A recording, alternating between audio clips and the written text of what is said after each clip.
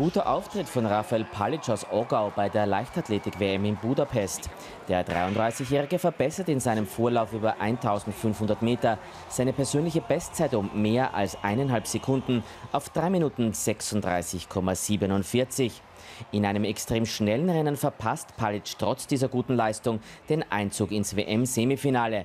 Rafael Palic ist der erste Burgenländer überhaupt, der sich für eine Leichtathletik-WM qualifiziert hat.